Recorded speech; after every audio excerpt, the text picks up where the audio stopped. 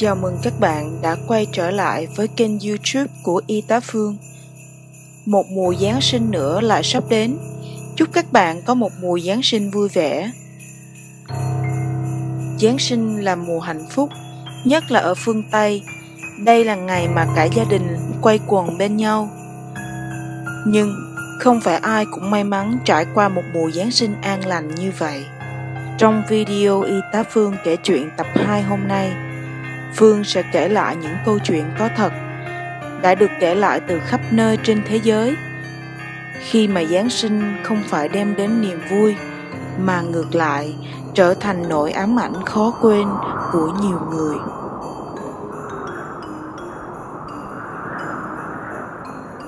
Câu chuyện thứ nhất Chuyện của tôi xảy ra vào đêm Giáng sinh năm 2004. Lúc đó tôi đang làm ở một cửa hàng tiện lợi thuộc bang Texas, Mỹ. Tối hôm đó, tôi một mình đứng bán ở cửa hàng. Cửa hàng này cách xa nhà tôi khoảng một cây số, nên tôi thường đi bộ đến chỗ làm. Tối hôm đó lại là đêm Giáng sinh, nên cửa hàng rất vắng khách, không giống như mọi khi. Bình thường sẽ có hai người một ca, nhưng vì anh chủ tiệm ngày hôm đó bị ốm, nên kêu tôi một mình đứng quầy coi tiệm. Lúc đó là 8 giờ rưỡi tối và cửa hàng vẫn còn mở cửa. Tôi cứ chờ mãi mà không thấy vị khách nào đến. Đến đúng 9 giờ tối thì tôi bắt đầu thấy hơi chán và có phần hơi sợ. Cánh cửa chợt hé mở và cuối cùng cũng có một vị khách đầu tiên bước vào. Khi vị khách này vừa bước ra khỏi cửa thì bỗng dưng có một vị khách khác cũng vừa bước tới.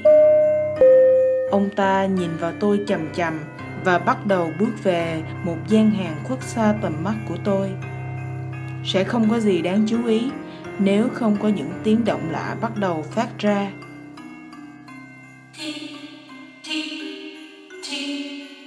Tôi thấy hơi khó chịu nên liền nói với vị khách lạ vừa mới bước vào.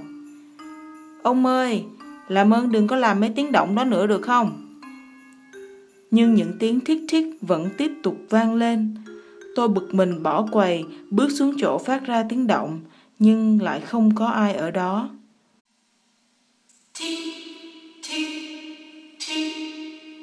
Lần này tiếng thiết thiết lại phát lên từ một quầy hàng khác sau lưng tôi.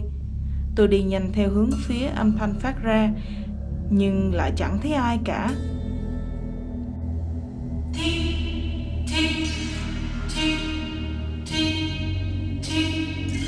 Nó lại phát ra từ một hướng khác. Lần này, thay vì bước theo hướng âm thanh, tôi cố gắng len lén đưa mắt nhìn qua khe hở giữa hai cái kệ, thì thấy một con mắt cũng đang trừng trừng nhìn lại mình.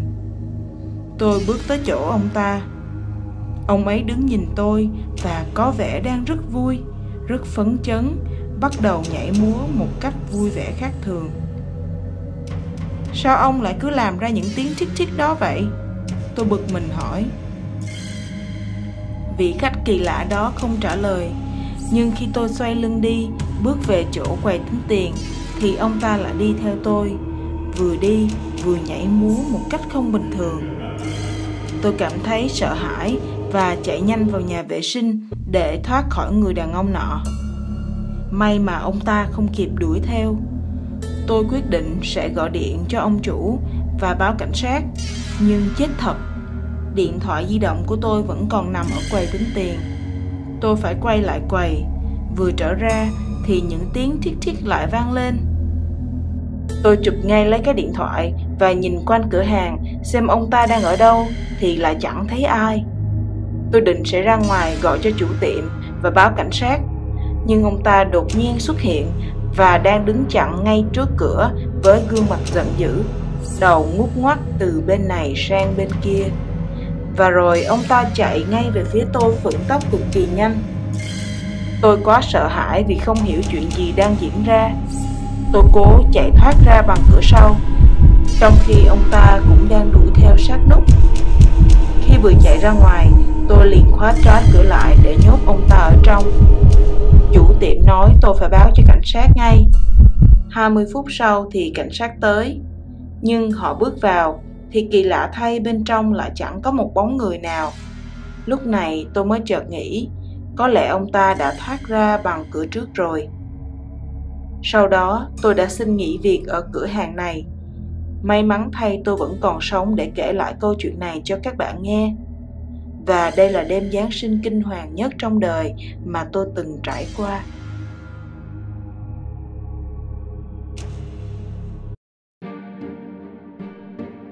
Câu chuyện thứ hai Chuyện này xảy ra hồi tôi 5 tuổi.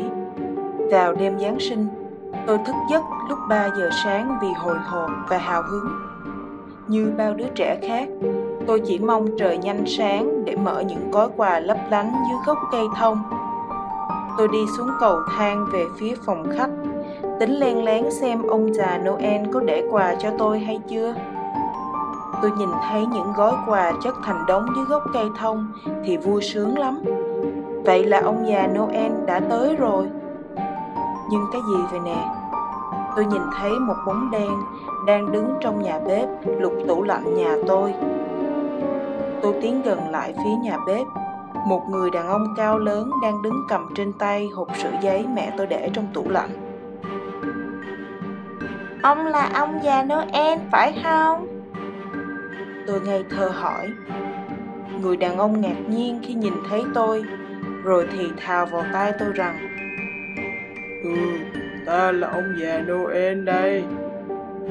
Lạ lùng thay người này đi lướt qua tôi và đi về phía phòng khách ngay phía gốc cây thông. Tôi cũng không hiểu lúc đó mình đang nghĩ cái gì. Gã đàn ông này mặc đồ bình thường chứ không có vẻ gì giống ông già noel cả Hắn bắt đầu nhìn các gói quà, trong khi tôi thì ngây thơ nói cảm ơn ông về những món quà. Trong đầu tôi cứ nghĩ đây chắc chắn là ông già Noel. Hắn bắt đầu cầm lên những gói quà to nhất. Tôi nhớ lúc đó tôi ngơ ngác hỏi hắn, ông đang làm gì đó? Nhưng tôi không nhớ rõ hắn ta đã trả lời những gì. Đại loại là Ta đang thay những món quà này bằng những món quà khác to hơn. Tôi còn quá nhỏ nên không nghi ngờ gì cả. Sau khi cầm những hộp quà to nhất lên, hắn khệ nệ ôm ra phía sau cửa nhà tôi. Quay trở lại và lấy thêm nhiều món quà khác. Sau đó hắn vỗ nhẹ vai tôi và thì thào nói Đừng cho ba mẹ biết là cháu đã nhìn thấy ông già Noel nha. Tôi cực đầu đồng ý. Sau đó hắn quay đi với đống quà và không quay trở lại với những món quà to hơn như đã hứa. Nhận ra có điều chẳng lành, tôi chạy lên lầu đánh thức ba mẹ và kể cho họ nghe. Ban đầu ba mẹ cứ tưởng tôi nói đùa, nhưng rồi thấy tôi quả quyết, họ cuốn cuồng chạy xuống lầu kiểm tra và nhìn thấy phân nửa đống quà dưới gốc cây đã biến mất, còn cửa sau nhà thì mở toang. Mẹ tôi hét lên và gọi điện báo cảnh sát. Sau đó tôi đã bị mắng một trận. Bây giờ khi đã 20 tuổi, câu chuyện này với tôi như một kỷ niệm Giáng sinh đáng nhớ.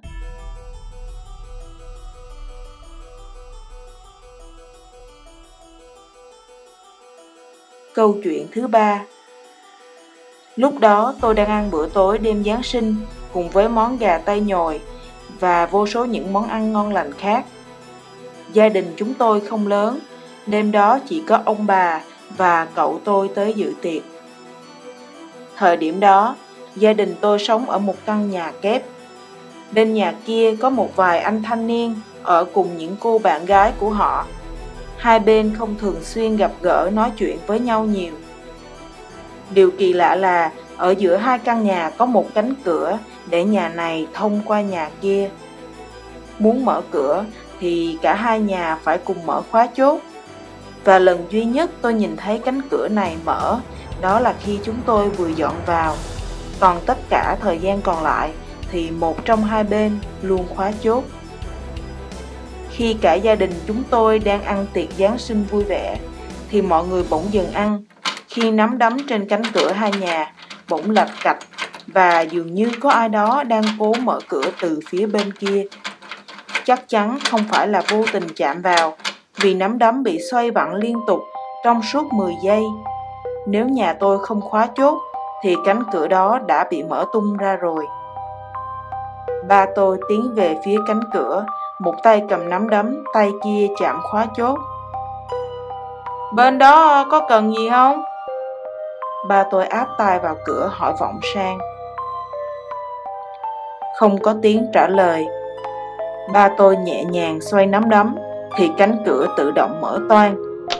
Phía bên kia tối om om, không có một ngọn đèn, giống như không có ai ở trong nhà vậy. Lúc đó, chỉ mới 6 giờ rưỡi tối. Trước đó gia đình tôi còn thấy mọi người trong nhà này đều đã đi chơi Noel hết rồi. Để chắc ăn, chúng tôi nhìn ra ngoài cửa sổ kiểm tra thì không thấy xe hơi của họ đậu phía bên ngoài sân. Vì là những người hàng xóm tốt bụng nên gia đình tôi đinh ninh đã có kẻ ăn trộm vào nhà này. Tôi, ba tôi và chú của tôi quyết định sẽ cùng nhau sang bên đó kiểm tra giúp họ. Chúng tôi bật công tắc điện lên để kiểm tra từng ngõ ngách. Trong lúc chúng tôi đang tìm kiếm xem có dấu vết nào của tên trộm hay không, thì trên đầu của chúng tôi ở tầng trên có tiếng ngã hụt và tiếng gỗ rạn do có vật nặng rơi xuống sàn. Tôi quá sợ hãi nên chỉ đứng yên, còn ba tôi và chú tôi thì chạy thật nhanh lên lầu. Tim tôi thắt lại khi có tiếng thét thất thanh của chú tôi và cả gia đình tôi ở bên này cũng đều đứng dậy khỏi bàn tiệc. Một ít lâu sau, chú tôi dìu ba tôi đi xuống cầu thang, một tay ba tôi che vết thương còn đang rỉ máu ở phần vai. Đó là vết thương do bị dao đâm.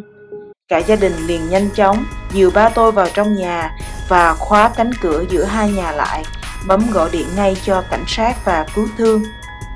Từ căn nhà bên kia có tiếng ầm ầm như vũ bão và có tiếng người thúc vào cửa, la hét, gào thét. Mở cửa, mở cửa ra, mở cửa ra mau lên, mở cửa, mở cửa.